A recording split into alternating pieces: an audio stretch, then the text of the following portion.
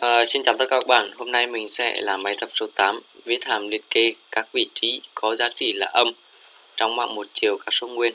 Đấy. Về để hiểu rõ cái đề tài về bài này thì à, mình sẽ xét một cái ví dụ sau. À, Ví dụ ở đây mình cho một cái mạng của số nguyên gồm có ba phần tử như sau.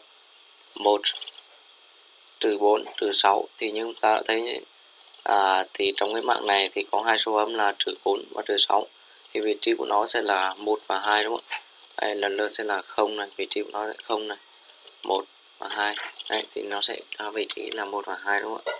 Rồi thì cũng như những cái uh, bài tập uh, lập trình C nào khác thì uh, chúng ta cũng cần phải uh, khai báo cái thư viện cho nó là Ethereum, Conio và Math này. Và mình định nghĩa một cái mắc có đủ rộng là 100 này trong phần tử là 100 100 phần tử này. Rồi sau đó rồi tiếp theo thì à, mình sẽ viết cái hàm mà nhập mạng. Với hàm nhập mạng này thì à, mục đích của nó là nhập các cái à, số phần tử của mạng và nhập các cái uh, giá trị của cái phần tử mạng. À, thì ở đây mình sử dụng đầu tiên mình sẽ nhập cái số phần tử của mạng. Đúng không ạ?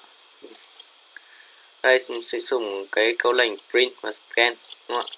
Và sau đó nếu như mà cái cái số phần tử của mạng nó mà bé không hoặc là nó lớn hơn cái giá trị mắc ban đầu mình đã định nghĩa cho nó rất lớn hơn cái khoảng mắc này thì mình sẽ phải nhập lại nhập lại cái số phần tử n đó bằng cách sử dụng cái câu lệnh go to quay về cái bước print này đúng không ạ? Đây là a đúng không quay về cái bước a này Đấy. và sau đó sau khi đã nhập được cái số phần tử n đúng rồi ấy, thì à, chúng ta sẽ sử dụng một cái vòng lặp for. Trong vòng lặp for này mình sẽ sử dụng một cái biến chạy y khởi tạo giá trị ban đầu cho nó là bằng không chạy từ 0 cho đến bé n à, đến n trừ một đúng không ạ? Và sau đó trong cái vòng for này thì mình sẽ in ra một cái câu lệnh print để chúng ta à, có thể nhập được các cái à, giá trị phần tử của à, mạng. Đây, đây sẽ là a phần trăm d đúng không ạ? Y tức là giá trị trừ à, của phần tử ai đấy. Và nó sẽ là scan. Do là mạng số nguyên nên là sẽ là phần trăm d. Nếu như là đây là mạng số thực thì sẽ là phần trăm f và đây sẽ là và ai rồi, sau khi đã nhập cái cái hàm mà nhập mạng, thì chúng ta sẽ tiến hành vào cái hàm xuất mạng. Và trong cái hàm xuất mạng này thì chúng ta cũng cần phải khai báo cái a, cái mạng a này, in a này, và sẽ khai báo cái n này. Rồi, sau đó sẽ sử dụng cái vòng lọc for, chạy từ y cho đến n, trừ một và dùng để à, in ra những cái giá trị của mạng tức là để xuất mạng ra rồi đó là cái giá trị xuất mạng. Sau sẽ là cái uh, hàm định tính để liệt kê ra cái vị trí âm ấy, để tìm ra cái vị trí âm. Vị trí của cái uh, phần tử mà có giá trị âm ấy. mình đặt là vị trí âm. À, cũng là khai báo cái a mạng a và n số phần tử n. Sử dụng cũng sử dụng cái vòng lặp for và sử dụng thêm trong cái vòng lặp for này thì sử dụng thêm một cái câu lệnh if. Nếu như mà cái phần tử ai này nó mà bé hơn không thì sẽ in ra cái phần cái cái số thứ tự của cái phần tử đó đúng không ạ? Ví dụ phần tử đầu tiên nó bé hơn không nó bằng trừ một đi nó sẽ bé hơn không thì nó sẽ in ra số tự tử của cái phần tử đó là không, đúng không ạ? Ví dụ phần tử thứ ba a3 bé hơn không? A3 bằng 5 trừ 5 bé hơn không? Thì nó sẽ in ra kết quả là y bằng 3 đấy. In ra cái số thứ tự của nó.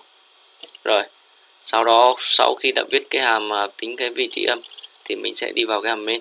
Và trong hàm main này thì bắt buộc mình phải khai báo cái n biến a à, cái mạng a là chắc chắn rồi đúng không ạ? Và chúng ta cần phải gọi à, cái hàm mà mình đã viết ở trên như là hàm nhập này, hàm xuất này. Và sau đó sẽ in ra cái giá trị à, giá trị âm đúng không ạ? Ở đây à, sẽ là vị trí vị trí các giá trị âm trong mạng đúng không ạ? Đây sẽ là vị trí âm. Sau khi print cái vị trí âm này các bạn phải đặt sau cái câu lệnh print này thì nó mới có tác dụng. Đấy. nếu như các bạn đặt trước. À rồi. Mình à, sẽ à, đặt sau như này. Rồi lát nữa mình sẽ đặt à, trước cho các bạn xem thấy cái sự khác biệt. Rồi. Và sau khi à, đã liệt kê ở đây rồi thì chúng ta sử dụng get này để dừng này và return này. Đấy. Rồi mình sẽ chạy cho các bạn xem. Như vậy là không lỗi nha. Đấy.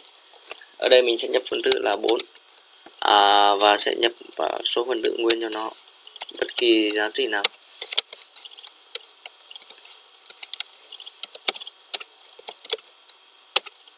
Đấy thì nó đã in ra các cái, cái giá trị của mạng này đấy âm 2 này trừ 74 này 98 này 293 này. Và vị trí các giá trị âm trong mạng là 0 và 1 đúng không ạ? Đấy. Âm 2 là nằm ở vị trí đầu tiên là 0 này. Âm 24 là nằm vị trí tiếp theo này. Tức là chính là 1 đúng không ạ? Rồi.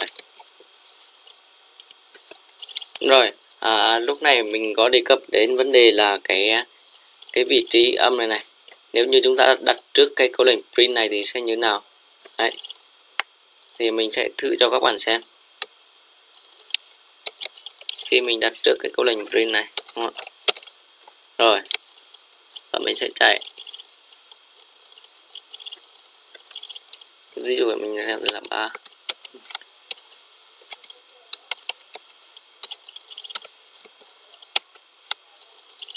Đấy, thì à, nó nó đã in ra này. Lúc đầu mình nhập cái số phần tử là ba này.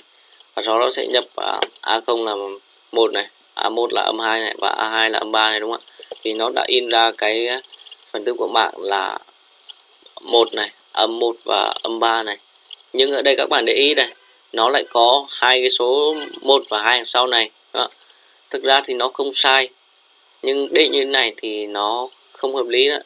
Đấy. Cái một và hai này tức là gì?